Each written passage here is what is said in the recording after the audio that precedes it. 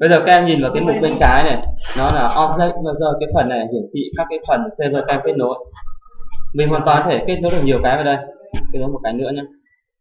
Nếu mà trùng thì vẫn là cái vẫn là hiển thị một cái thôi. Nên là thử các em có thêm một cái server khác để kết nối cái này. Nó thành công hiển thị tiếp vào đây cho mình. Bởi vì cái này là mất mạng nên là ít ngay có mạng thì là đây là cái này luôn đây. Đây đây đấy. Và giờ nhìn vào giao diện đăng nhập các em chú ý này. Đầu tiên là tên server này server name này.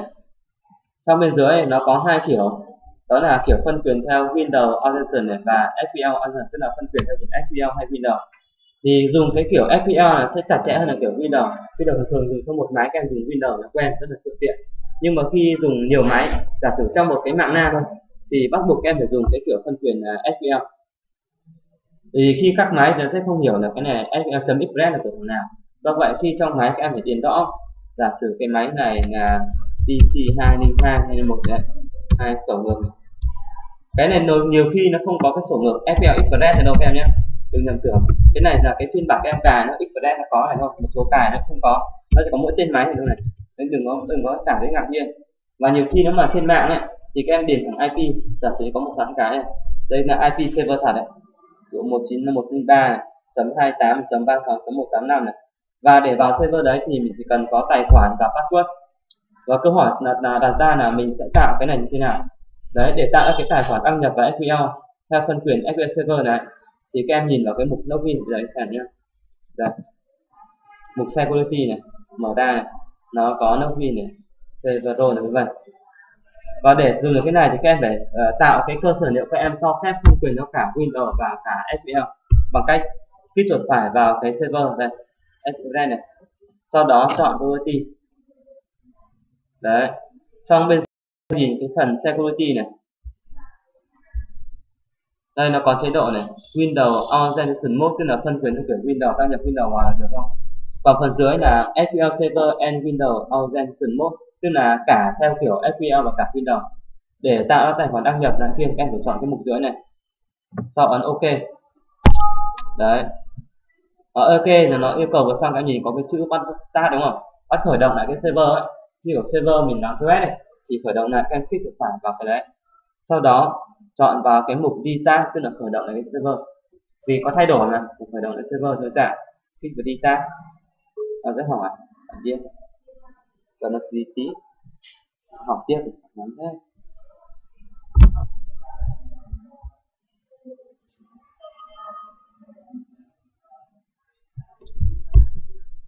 Tắt này sẽ nhìn. Tiếp theo các em muốn tạo một tài khoản thì vào security kích chuột phải vào nó chọn vào login uh, new này chọn login này.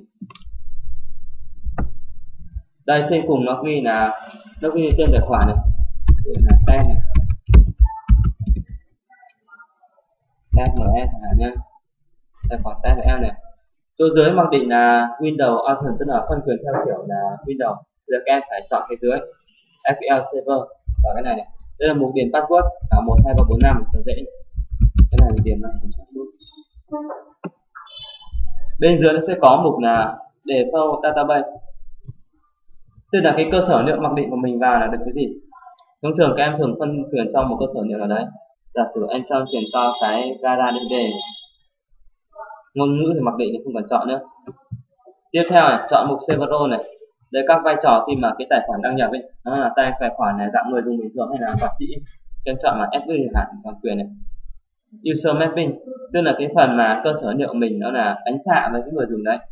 Giống kiểu các em phân quyền cho người này được vào phòng A này, người vào phòng B này, người vào phòng C này và ngay người phòng A thì một người là chủ phòng đấy này, còn người khác là khách. Tức là chủ có thể được toàn quyền trong phòng đấy điều khiển phòng. Còn khách chỉ đến một cái ghế nào đấy, ngồi im tại chỗ không được tự quậy cả. Đấy, thế là nó phân quyền nó từng phần một. Còn cái phần mapping thì cái phần mà mình sẽ giao chìa khóa cho từng thằng một, giả sử thằng Nguyễn Văn A này được vào phòng một chẳng hạn, thì đưa chìa khóa vào phòng một này. Em cho thêm một chìa khóa nữa vào phòng hai các em click vào chọn phòng hai này. Thì khi như này thì lúc nó vào nó được xem còn nếu không phân quyền ấy, giờ chọn hai cái nhé các em nhìn thấy cho db decode cho cái gala db đây đấy cái decode còn các thể nó khác không chọn nhé à, đây là grant phân quyền any phủ nhận này. Lấy tạo thể phân quyền cho hai cơ sở nhận không? Cái role là admin public trường hợp là tmf15 ấn ok đào xong bây giờ các em mở database ra. Excel này.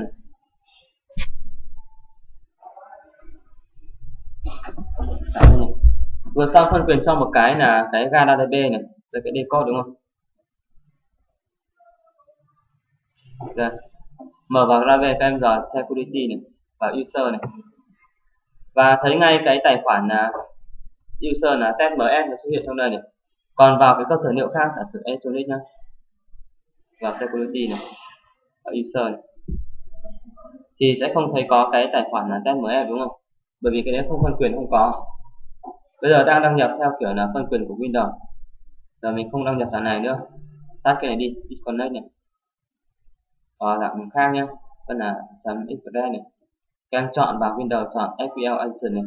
Tôi giới điền tài khoản tml này. Mật khẩu 15 rồi vẫn số dưới là nhớ mật khẩu hay không mình còn còn đấy cả. Thì cái chỗ này có phần xác nhận là điền ờ, password này. Link password có pin. Nên không cần thiết. Lựa chọn ok giờ vào tài khoản, các em nhìn thấy chỗ tài khoản của các nó trên là SQL Server này 10.0.2531 test MS tức là cái tài khoản mình đăng nhập vào. Tiếp theo, mở một database ra. Cảm ơn.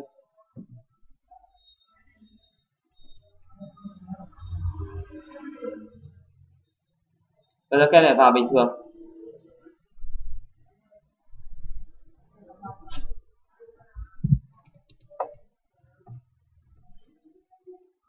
Đấy, tạo tài khoản chỉ đơn giản thế thôi. Và phần này sẽ là nó rất quan trọng khi mà các em tạo phần mềm mà mình dùng nhiều máy. Sẽ phải có một máy là máy chủ là server, chúng ta mới khác kết nối đến. Thì cái phần kết nối bắt buộc dùng cái dạng có username và password như này. Username, login này, password. Chứ không dạng thì không thể dùng cái dạng Windows Antivirus này được và khi mà các em ờ, dùng web các bạn, lập trình web chẳng hạn, cũng có cái phần server bắt buộc các em phải điền dạng địa chỉ IP của nó là gì này, sau đó cái tài khoản đăng nhập vào đấy là cái gì đến đủ thế vào ờ. được. Rồi này là lâu rồi.